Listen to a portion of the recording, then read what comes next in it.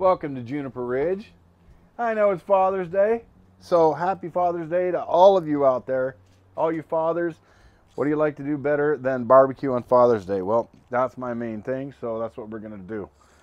Been at it for a while, but I didn't want to bore you guys with a whole bunch of other, you know, just sitting and watching and whatever. So we're about three quarters or better through this grill, and we've been out here for about uh, hour and 45 minutes. So we have two grills going again, but today I'm not on the 24 kettle, which is remember the steak and chop searing burger kettle. I'm on the deep kettle. This is the uh, 20 inch Mama Q, and it's way deeper. So what we're doing today is indirect cooking. I've got two pork prime ribs and a pork loin in here. And on the gas grill, I've got stuffed pasillas, I have mushrooms going, and I have uh, zucchini in foil packs. So they're rolling over there. And uh, today I didn't use any wood. It's just charcoal. Make it plain, simple, easy. For those of you that don't, you know, I don't know how to use the wood. I don't. I don't want to go and load the the kettle. I don't want to do all I just want to cook. Well, this is today's grill. So take a look. And the cool thing is, I have two um, charcoal holders that are molded. It's kind of curved and then straight, both sides. So I have two of them, and you load your coal in those holders, and they sit on either side, and you cook it right down the middle.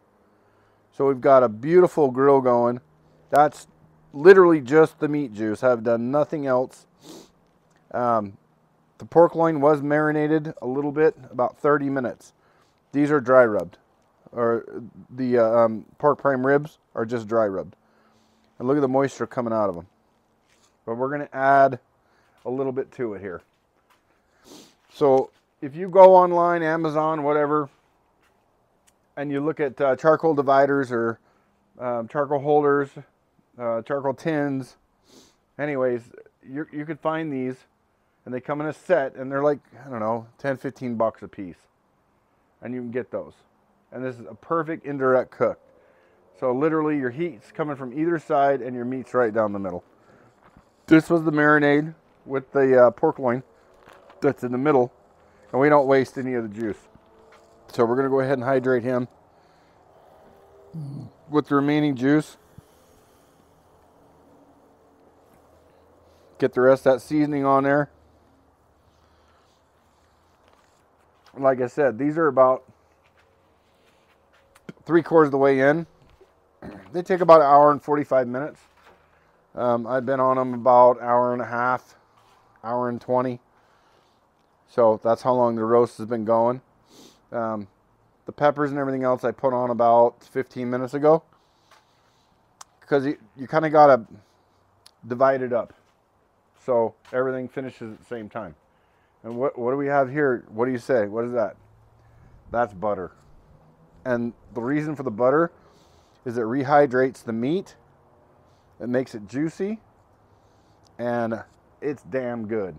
So we're going to go down with the butter and then we're just going to lid it off and let it go and let it finish. So there's the, the butter on top of the two pork prime ribs and the pork loin. We'll just close her down and let her go. Got the College World Series on over there. Volume's off so we don't get a copyright. And I'll check this grill. Well, the peppers are done. So I'm going to get a flip on these uh, mushrooms and squash real quick. And I'll get you a view of that here in a minute.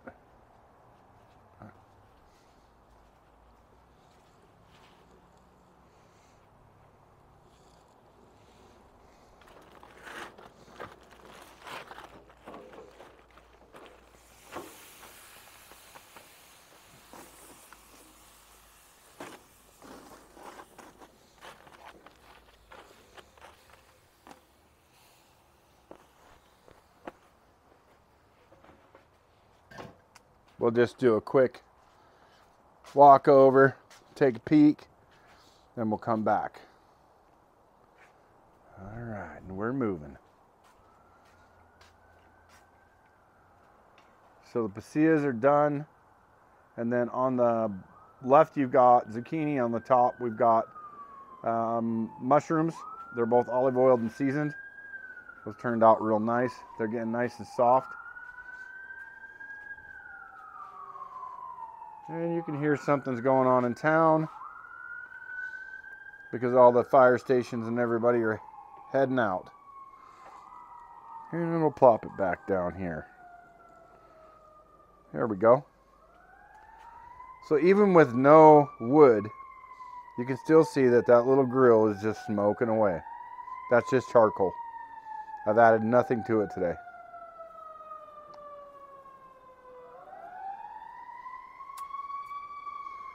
A little bitty town, I tell you what, we live close to a main, uh, the main highway and road is literally about uh, 100 yards away from our property line. So they always head up and down. Any emergency that goes on, that's the main road they go through. And I always say I've been in big cities. I hear more sirens here than I ever hear in a big city. So, for what it's worth, because we're close to the main road, we're going to hear it. No big deal. But hey, that's a pretty good view there. Just letting her smoke and do its thing. But my big deal was is how to indirect cook. And uh, you know, I switched off the 24, went to the deeper 20. We lost four inches of grill space, but we gained in depth. And the reason we did that is because those charcoal holders, if you put them on the 24, they literally touch the grill because it's not a deep grill. Now, I've got an, another grill that is uh, identical to a Weber. And it was another grill that somebody tossed, didn't want, was given to us. And I've got to rebuild it. But it has the deep well and it's a 24. So that grill is going to go down on the other side of the gas grill. That's the new addition. And in, in all these grills, literally, except for this, you know, $850 grill, um, but this this was one. So there's still no money in it. I mean, I have more money in the little tiny two Smokey Joes and that little Smokey Joe than I have in the two kettles and the gas grill. So, I mean, all said together, 25, 50, there's 75 bucks, 95. So $95 is what's in this entire grill lineup. That's it. And, and if you watch at yard sales or people just put these out, like this grill, the couple was moving and they had this um, 20 inch Weber and, and they didn't want to take it. They just didn't have the room. So they gave it to, to me. So I'm like, heck yeah, I'll take the, I'll take the grill. And uh, I don't turn any grills down. And if I'm not going to use them, I'll repurpose them and I'll give them to other people for them to use. And matter of fact, I found a beautiful, it was a Kenmore barbecue, which I'd never seen before. Uh, blue and chrome gas grill. It has the, I mean, all kinds of attachments, fla the flavor bricks that go in the bottom of the grill, the whole nine yards. And the people just wanted to get rid of it. So I grabbed it up, gave it a test run, cleaned it all up, made sure it worked good, and took it up to my buddy's house, and he's got a brand new, well, uh, brand new to him grill. And I'll tell you what, we've cooked on that thing, and it works fantastic. So, you know, everybody says, well, barbecuing's so expensive. Well, not really. I think the most expensive piece in my entire barbecue set is my Santa Maria grill and fire pit that I have down in my lower yard that I showed you guys the other day. And that's him right out there. And I just took the lid off. And that guy was 150 bucks. That fire pit Santa Maria grill. But it, it was well worth it to me. So I have more in that pit down there than I have in all of these grills sitting here. So I guess my, my whole premise of this is you can grill really good food and, and it's not expensive for the equipment. And it looks like I I have this giant lineup of stuff, but literally it's just a collection. If I drive by a, a yard sale and I see a, a, kettle sitting out there for five bucks, I'm picking it up. You know, a Weber kettle, I'm picking it up. I'm taking it home. That's just the way it's going to be. And if it's can replace one of my pieces, then I'll replace the piece of my grills and I'll send one of these pieces to another home that'll be used. Of course, you got to teach people how to use these because they don't know. But it's super simple. Like when I lived in Louisiana, I had a, I had a gas grill. It was all stainless steel, but it's extremely humid. So it was brand new. But in one year, from the humidity, um, it literally rotted out and it was no good. It had to get sent to the metal recyclers. It was just, there was nothing left. It even ate the, the tubes for the gas coming into the grill. We live in a kind of a dry climate here. Sorry. We live in a dry climate here. That doesn't happen so much here. But in areas like Louisiana, Alabama, in the South, you're going to have that issue. So if I see a grill, I'm grabbing it. I'm going to refurbish it the best, you know, to the best of my ability. And I'm going to pass it on to somebody. You know, if I'm not using it, somebody will be using it and it will be active. But the main thing is you don't have to go out and spend 500 bucks on a grill to get good food. Like this is free and it's cooking up all this. How beautiful is that? It's going to be best tasting food you ever have. And I didn't pay a dime for it. I got $19 in this 24. I mean, you can't go wrong. Yes, this Big Smokey Mountain is a spendy guy, but it, we won it. So um, it was my brother-in-law's. He won it at, a, at a, a, raffle at a supermarket here locally, and man, it, it's been great to have, and I use the heck out of it. He doesn't have the room, so when he wants to barbecue something up, he'll come over, and bam, we'll get on this thing. But not only that, if he wants to cook something and go serve for his friends or whatever, he'll come and cook here, and he's got two kettles there, two Smokey Mountains here, and we have a warming grill that we use that's a gas grill that costs absolutely nothing. I literally just grabbed it, walked it down the street, brought it back here, made two heat shields, and away we go. There, there's nothing wrong with recycling grills.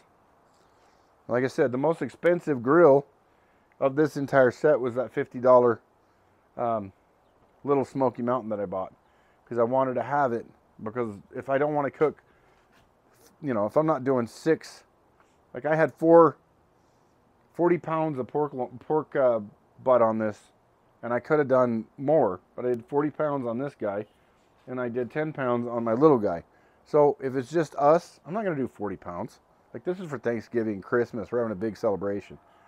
The little guy is what I use just for us. If I want, if I want to have that uh, same result as this guy, but on a smaller level.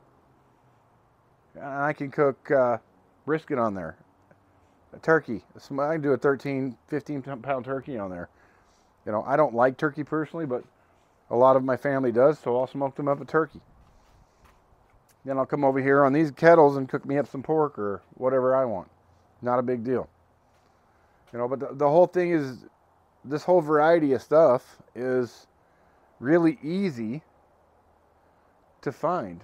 People put put stuff out because they don't know how to use them.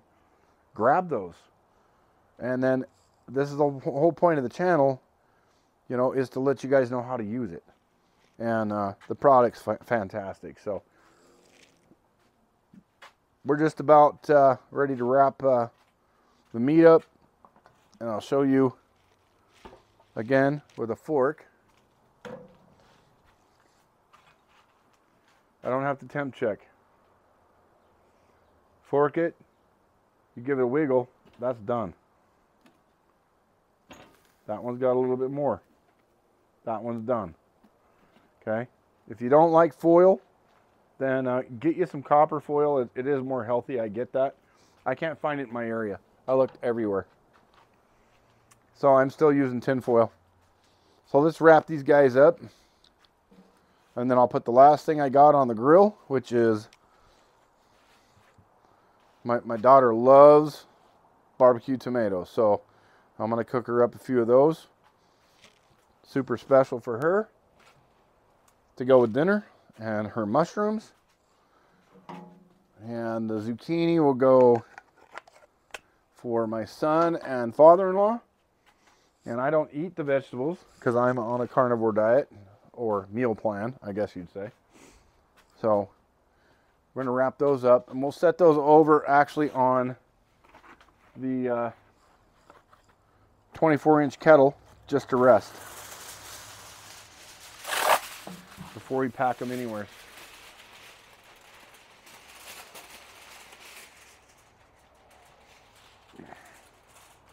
So we know the pork loin is ready.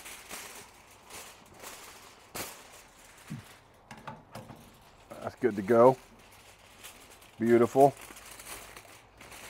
Get him wrapped up good. And the reason I wrap them is that's a little warm. So we're going to go over and use our Smokey Mountain for a handle holder. I wrap them because they're going to go on a rest and retain their moisture. So now we're going to get that back pork prime rib, get him wrapped up. And they literally don't have to be on any heat right now. They just need to go on a rest.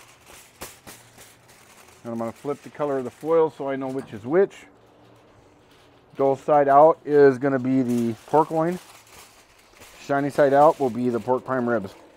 This is my favorite cut of meat. The pork prime rib is my absolute favorite cut of meat ever. And being Father's Day, I was lucky enough to be able to do that. Prices of meat are going crazy. And then we'll take this guy, move him sideways, dead on center in the middle. Now look at the juice coming out of him. And I bet he's probably maybe five minutes, seven minutes to go. He's close, but he's not done yet. We'll let that heat on both sides take care of that guy. And then uh, let's go ahead and, you know what? Let's get them tomatoes on. That'll be just about right. When those tomatoes are done, then you know that that pork loin's ready. And we're going to indirect cook those too. Right down the middle. I'll let them finish up. So that's pretty. Get her lid back on, let her go. We're gonna turn this stuff down over here. Take it down to one grill. I'm gonna move the mushrooms over. Zucchini's ready, so it's just on a warm. And you know, on a quick night, it's nice to have that gas grill. Because I can come out after work, cook up, cook up a meal while I'm working in the shop, do whatever I got to do, and it's it's pretty much self-managing. I don't have to worry about the coals or whatever. But I mean, I still I still work on the coal the the kettles when I'm out here. It just depends on what mood I'm in. But if it's a real quick meal, the gas grill's nice. But standardly, I use that for a warming grill, and it works fantastic. So. Um, it's going to be another good feed, and uh, can't beat it. But I like the flavor of the kettles, and then I use the gas grill mainly for a warming grill.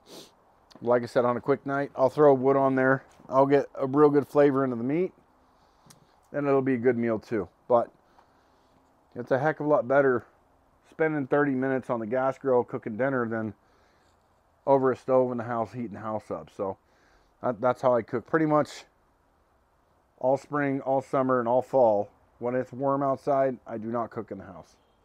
Never do.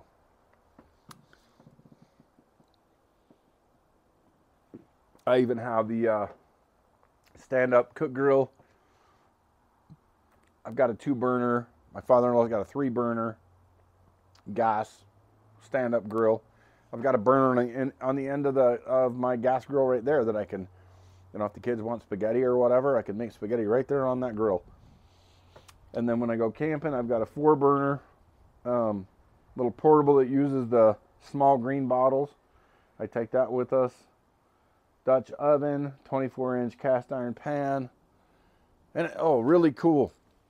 So you'll get to see this in action this summer. But part of my outdoor cooking system when you go camping literally is this little unit right here. It's upside down. Ooh, hello phone. Don't freak out on me. watch the sky. All right, let's try this. Let's try and go down. Oh, that's up. So there's the there's the grill I paid 150 bucks for. And, and I'll show you that here in a second. But this little grill that goes over a fire that you build, I take that camping and this is a godsend. This is 20 bucks at Walmart. And this little thing is amazing. I can cook on my 24 skillet. I can put my cast iron in the fire indirect, bake up a, a roast, whatever I want to do. I can fry onions, mushrooms, anything I want to do, bacon, whatever. Right on this little guy right here. And he's only 20 bucks. But this guy, you can see the grill a little bit better. Get it a little closer. There's the grill on it, and it's got a high bar right here. I don't know if you can see that or not, but the grill lifts up on that bar, and you can swivel it around. I have it down low because I had it put away for the winter. But this grill is freaking awesome. Love that thing. And there's some chickens running around being happy. Isa Browns. I think we have three black ones in there. The rest of them are Isa Browns. Really good egg layers. That's a, a pile of pine that I'm seasoning. The weeds grew over it, so I just kind of chopped them down, but I'll get that out of there. Put it in the storage bin. That's what I use for my wood stove. Right there. That's in the shop in the winter. And it heats my shop up. So there's the backside view of the grills. Got to get around this stinking umbrella that blew up.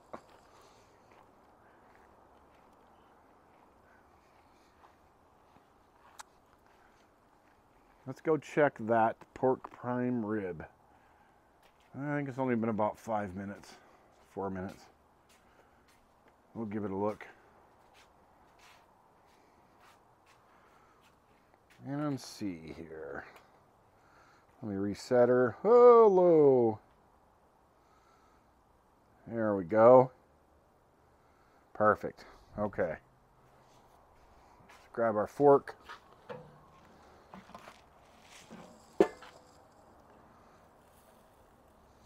Oh yeah, she's just just slid off. Just about ready. Give him about another two minutes and then uh, I'll pull him, wrap him, and the tomatoes will be finished up, and then dinner's done, like literally.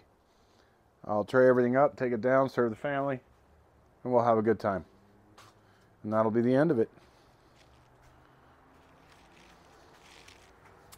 Once I get to 500, I can start putting community posts out with pictures and stuff, but I'm having a hard time uploading picture videos.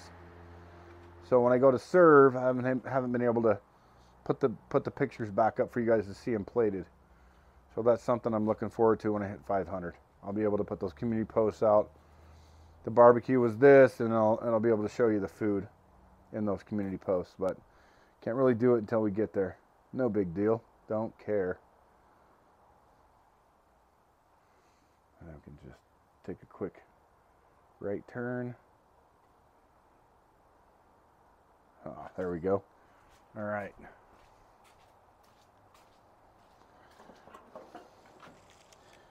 Yep. Everything's ready. You can always feel when you're cooking in your foil or your copper or whatever.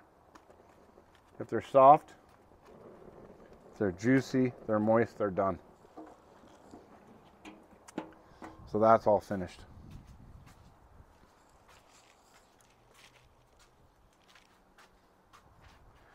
Let me pan back around. And we have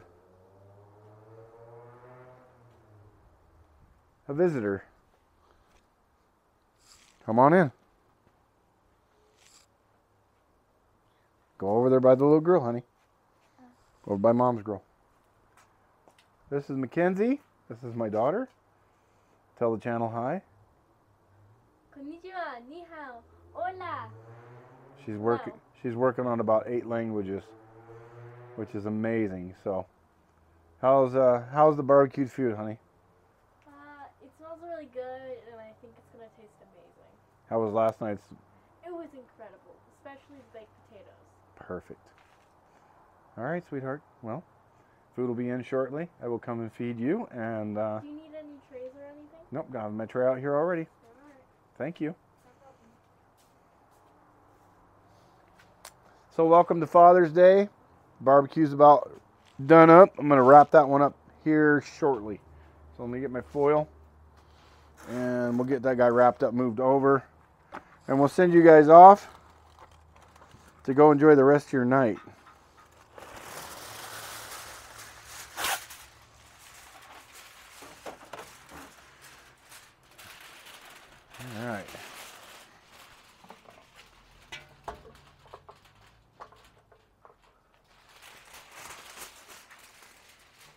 Got to do is finish the tomatoes and that's done.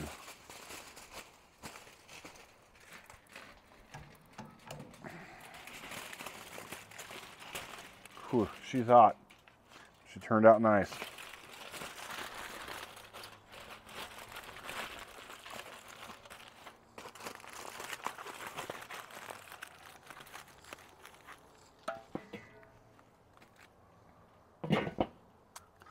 All right, they're on a rest. Now just tomatoes. They're cooking good. Tomatoes will probably take maybe five minutes. They'll be done. So I'm going to go ahead and cut her off here and let this finish. Tray everything up. Go feed the family. Finish my ball game. Oklahoma's winning. They're beating uh, Notre Dame right now in the College World Series. So that's awesome. Uh, big shout out again to Tie Guy 266, GWT 333, Tommy Trucker, Little Blinky, uh, Coda B 123, all the freedom fighters out there that, that are uh, streaming, putting videos up. And, you know, uh, another one, Trap Lines and Inlines, big inspiration for me. I've watched him since he was in high school. Living off grid. Um, Kyle's Cabin, big shout out to Kyle and Sierra go check them out. Um, I will, not this video, but probably the next, drop the links in there for the streamers and um, some of the channels on YouTube. Just because I follow them, not because, like, I don't talk to Kyle and Sierra, I don't talk to Trap Lines and Inlines, um, other than just like you, just commenting on there. I just admire what they do and I support what they do. So I'm subscribed to their channels and I check their stuff out. But it's all good stuff. So thanks for joining me on Juniper Ridge, and we'll see you probably on the project in the shop next time. Much love. Catch you later.